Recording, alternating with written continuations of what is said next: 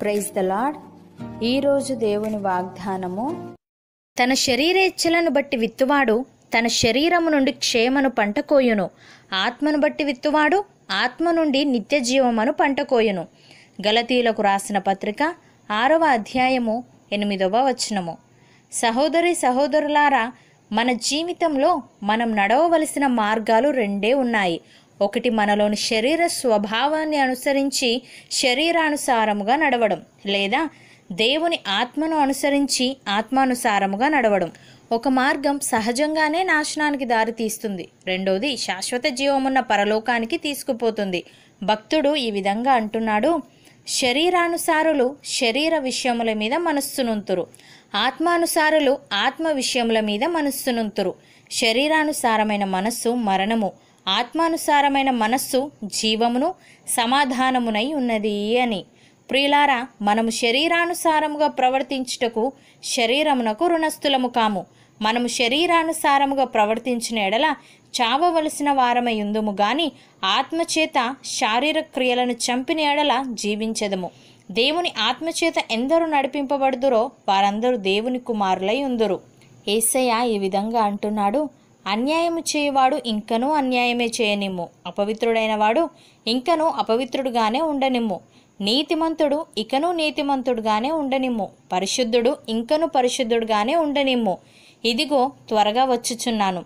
వాని వాని క్రియ చొప్పున ప్రతి వానికిచ్చుటకు నేను సిద్ధపరచిన జీతము నా యొద్ద ఉన్నది అని. ప్రియులారా రాత్రి చాలా గడిచి పగలు సమీపముగా ఉన్నది గనుక మనము అంధకార క్రియలను విసర్జించి తేజస్ సంబంధమైన యుద్ధోపకరణములు ధరించుకుందాము.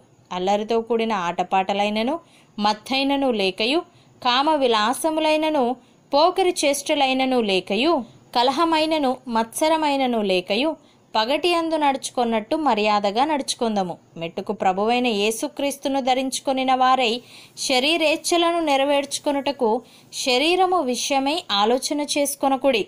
అపోస్తులడైన పౌలు ఈ విధంగా అంటున్నాడు నేను క్రీస్తుతో కూడా సిలువ వేయబడి ఉన్నాను ఇకను జీవించువాడను నేను కాను. క్రీస్తే నాయందు జీవించుచున్నాడు.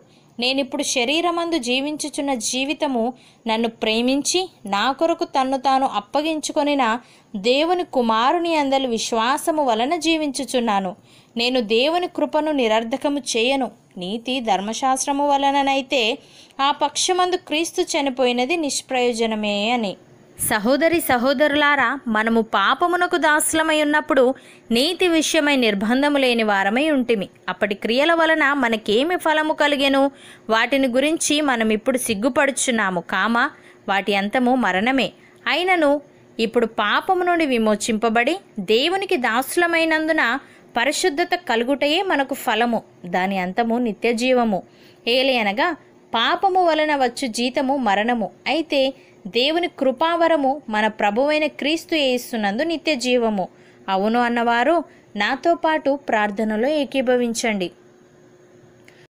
పరిశుద్ధుడా ప్రేమగల తండ్రి పాపము నుండి మమ్ములను విడిపించి నీతికి దాసులుగా మమ్ములను చేసినందుకు నీకు స్తోత్రములు. తండ్రి మేము పాపముతో జోలి ఇక నేమియు లేక పరిశుద్ధముగా జీవించుటకు సహాయము దయచేయమని నీ ఆత్మచేత మేము నింపబడి నీ ఆత్మచేత నడిపించబడుతూ నీ అందరి విశ్వాసము వలన మేము జీవించుటకు కృపచూపమని యేసుక్రీస్తు నామమున ప్రార్థిస్తున్నాము తండ్రి. ఆమెన్.